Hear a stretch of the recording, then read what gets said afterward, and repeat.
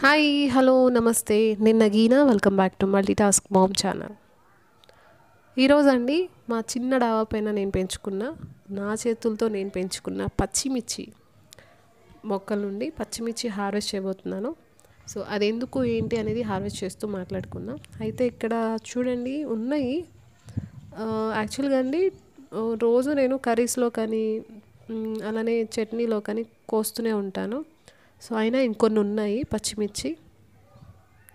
So వీటిని నేను ఈరోజు హార్వెస్ట్ చేసి నా అంతవరకు నేను ఈ ఊర మిరగాయి పెరుగు మిరపకాయ ఏదైతే అంటారో అది పడ్డామని డిసైడ్ అయ్యాను అనమాట సో ఇంట్లో అయితే అంత ఎక్కువ ఇష్టంగా తినరండి ఇది నాకు మాత్రమే ఇష్టం అనమాట సో అందుకోసం నా కోసం ఇవి సరిపోతాయి అని అనుకుంటున్నాను. ఉన్నాయి మరి అంత ఎక్కువేం కాదు బట్ ఉన్నాయి. ఇవి నాకు సరిపోతాయి అనుకుంటున్నాను. సో అందుకని హార్వెస్ట్ చేసేద్దాం ఫస్ట్. అలానే అండి జనరల్గా నాకు తెలిసినంత వరకు సమ్మర్లో చాలామంది ఉరగలు పడుతూ ఉంటారు. అంటే పెద్దవాళ్ళు సమ్మర్ వచ్చిందంటే వెయిట్ చేస్తూ ఉంటారు. సంవత్సరం పొడవునా సరిపోయే ఆవకాయ టమాటా టమాటా పచ్చడి అలానే పండు మిరగాయని ఎక్కువగా వీటిని ఎక్కువగా స్టోర్ చేసుకొని పెట్టుకుంటూ ఉంటారు సమ్మర్లో చేసి పెడతారనమాట సో మేము కూడా లాస్ట్ ఇయర్ ఆవకాయ పెట్టామండి. అది సంవత్సరం పొడవునా సరిపోతుంది. అలానే ఈసారి పండు మిరగాయ ప్లాన్ చేశాము. అలానే చాలామంది వడియాలు కూడా పెడుతూ ఉంటారు సమ్మర్ వచ్చింది అంటే. మరి ఈసారి మీరేం చేశారు? ఈసారి ఏమన్నా ఈ సమ్మర్లో ప్లాన్ చేశారా? మీకు ఇష్టమైతే మీరు కామెంట్ రూపంలో షేర్ చేసుకోవచ్చండి. అలానే ఈ అంటే ఊర మిరగాయ లేదా పెరుగు మిరపకాయలు అనేవి మాకైతే మా ఫ్యామిలీలో అంతగా ఇష్టంగా తినరు. ఇది కేవలం నా కోసమే అనమాట సో వీటిని హార్వెస్ట్ చేసేసి ఇది చాలా ఈజీ ప్రాసెస్ కూడానండి. సో అందుకని అదిగాక మనం పప్పు చారులో పప్పులో తింటే దీని రుచే వేరనమాట మీలో ఎంతమందికి ఇష్టం? ఈ ఊర మిరగాయ లేదా పెరుగు మిరపకాయ? ఎంతమందికి ఇష్టమో నాకు కామెంట్ రూపంలో తెలియచేయండి.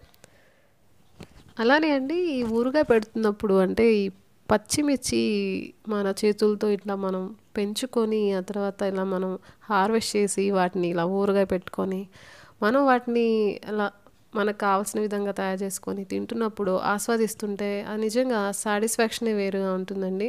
సో ఇప్పుడు ఇంకా మీరు ఇంకా గార్డెనింగ్ స్టార్ట్ చేయకపోతే కనుక ఇప్పుడైనా స్టార్ట్ చేయండి. ఆ సాటిస్ఫాక్షన్ అనేది చాలా డిఫరెంట్గా ఉంటుందండి.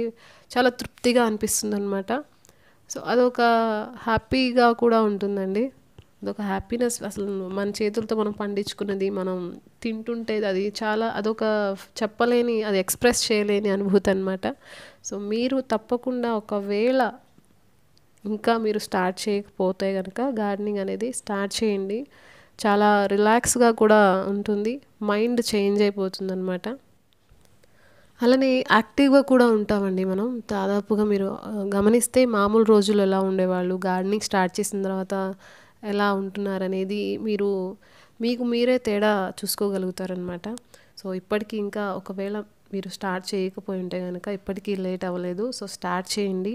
మీకున్న చాలా చిన్న ప్లేస్ అయినా కూడాను ఒకటి రెండు మొక్కలతో స్టార్ట్ చేయండి. తర్వాత తర్వాత మీరే దాన్ని ఇంక్రీజ్ చేసుకుంటూ వెళ్తారు. సో నిజం చెప్పాలంటే అండి మా డాబా చాలా చిన్నదనమాట సో నలభై ఎనిమిది అడుగులు అంటారు కదా ఏదో ఒక సెంట్ ఏదో అంటారు కదండి. సో అదనమాట చాలా చిన్న డాబా. సో నేను ఒకటి రెండు మొక్కలతోనే స్టార్ట్ చేశాను. ఆ తర్వాత తర్వాత ఇట్లా పెంచుకుంటూ వెళ్తున్నాను అనమాట సో మీరు కూడా ఇలా ఒకవేళ ప్లేస్ లేదు అని వెనక అడుగు వేస్తుంటే కనుక సో ఒకటి రెండు మొక్కలతో స్టార్ట్ చేయండి. సో మీకు చేస్తూ వెళ్తుంటే కనుక మీకే ఐడియాస్ వస్తూ ఉంటాయి. అలానే అండి ఒక్కసారి మనం ఈ గార్డెనింగ్ స్టార్ట్ చేసామంటే మనం అందులో నిజంగా అండి కంప్లీట్గా అందులో మునిగిపోతాం అనమాట అదే లోకం అయిపోతుంది అంత బాగా మనకి అనిపిస్తుంది అనమాట సో సెల్ఫ్ సాటిస్ఫాక్షన్ అనేది చాలా ఎక్కువగా అనిపిస్తుంది. కాబట్టి మీరు కూడా gardening as soon as possible ఇంకా మీరు స్టార్ట్ చేయకపోతే కనుక స్టార్ట్ చేయండి. సో ఆ అనుభూతిని మీరు కూడా ఎంజాయ్ చేయండి. సో సో అదండి. ఇది నా పర్సనల్ ఎక్స్పీరియన్స్ అనమాట అందుకే మీ అందరికీ షేర్ చేయాలనిపించింది షేర్ చేశాను.